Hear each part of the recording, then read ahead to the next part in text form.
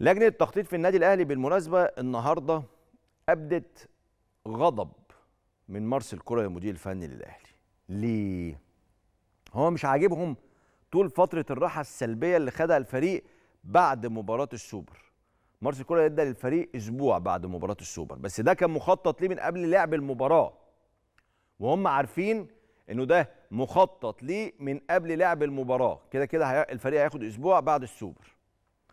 هو اللي مضايق لجنة التخطيط إيه؟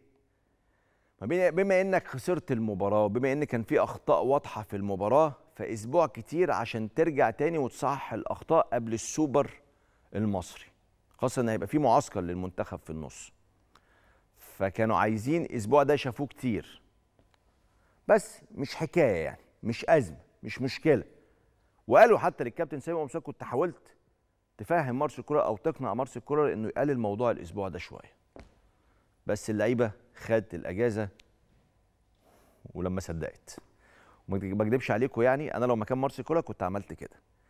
لعيبة النادي الأهلي بتشمشم على يوم أجازة. من أكتر اللعيبة اللي في العالم بتلعب مباريات كتير وبتلعب آه، تقريبا السنة كلها. فكل ما يبقى في فرصة إن هم ياخدوا أجازة اديهم أجازة. حتى لو الفرقة خسرت. بس محتاجين الأجازة عشان يرجعوا يكسبوا. ده رأيي. فأنا مع مارسيل كولر مش مع لجنة التخطيط. في الجزئية دي. طبعا أكيد هم نجوم كبار وأدرى يعني بس لعيبة الأهلي تحديدا تحتاج الأجازة دايما يعني لما يبقى في وقت ينفع يتاخد أجازة. طيب.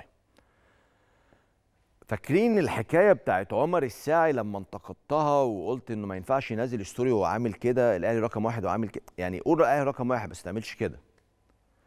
ضايقتني بصراحة وقلت ساعتها إنه لو كان في مدير كورة كان هياخد قرار صارم ضد عمر الساعي. تمام؟ تمام. الأهلي بقى ده خبرنا في رقم 10 بيستعد لإصدار قرار بمنع ظهور اللاعبين في المناسبات أفراح وافتتاح مولات ومطاعم دون الحصول على إذن مسبق في هذا الشأن.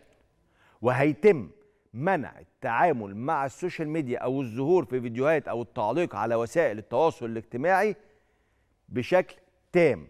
وهيبقى فيه إجراءات مشددة على أي لاعب ما يلتزمش بالتعليمات دي وهيتم خصم جزء كبير من مستحقاته المالية. برافو النادي الأهلي. برافو النادي الأهلي. ما تصحاش من النوم عايز تحط post story قصة حكاية وتهزر وتضحك. أنت مش شخص عادي. لاعب النادي الأهلي مش شخص عادي ولاعب نادي الزمالك واللاعب عامة اللي ليه جمهور. أنت مؤثر.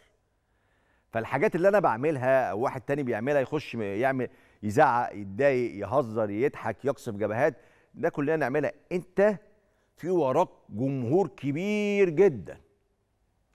بياخدك مثل وقدوة آه، ممكن تسخنه تنرفزه تعصبه ممكن تخليه يستفز.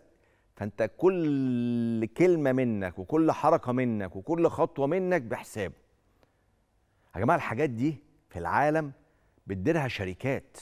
انت عارف مثلا مثلا يعني ميسي ولا كريستيانو ولا نيمار ولا الاسماء الكبيرة دي هل انت مثلا بتشوف لهم صور في أفراح كده واقفين وبيرقصوا وبيهيصوا وبتاع وبي... فيش أنا أي خطوة باخدها شركة معايا بتقول لي أنت هتاخد صورة في الحتة الفلانية لا ما ينفعش تاخد الصورة دي لا تاخد الصورة اللي مش عارف إيه ما ينفعش تروح المكان ده ما ينفعش تروح مش عارف إيه. انت بتصحى من النوم بتقول أنا هروح فين النهارده؟ ولا يفرق معاك كاميرا ولا صورة ولا حكاية ولا post ولا كلمة. كلام ده- العشوائية دي في. في إدارة نفسك دي مضرة جدا لنفسك قبل ما تبقى مضرة لناديك هي المرة دي بتضر للاثنين بتضرك وبتضر النتيج بس خد بالك انت انت لازم تدير نفسك بشكل أذكى من كده. ده أي لاعب مش لاعب النادي الأهلي بس.